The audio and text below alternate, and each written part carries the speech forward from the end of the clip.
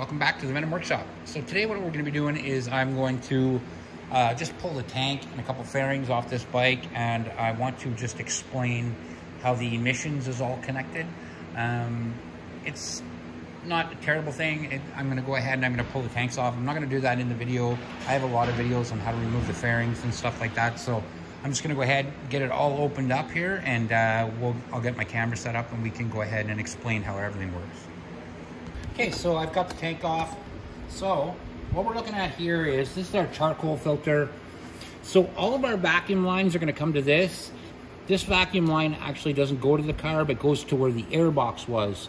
Um, this one's got an IBI upgrade on it, so that's why it's uh, the way it is right now.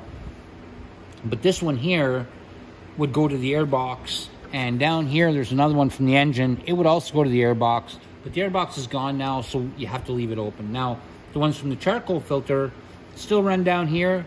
This one right here is a check valve for the gas tank. So it gives air back to the gas tank so it can still run and have air run through it at the same time.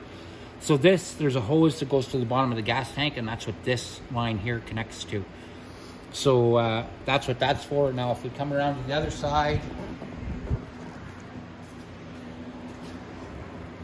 right down here, this is our emission system. Now the lines are easy for this one. This one comes off and goes to the vacuum port on the side of the intake.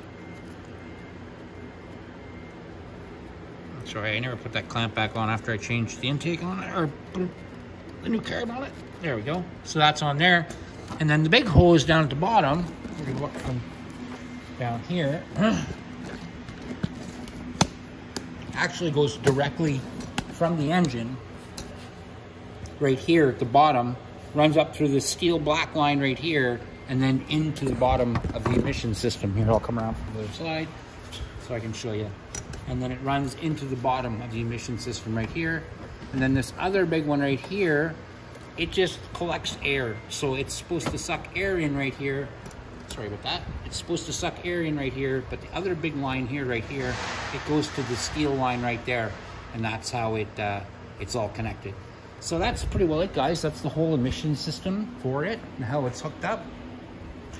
So like I said, this line here, so if you look at the top of your charcoal filter, this line here goes to the air box, this line goes to the check valve, and then runs to the gas tank. And uh, like I said, that's it, guys.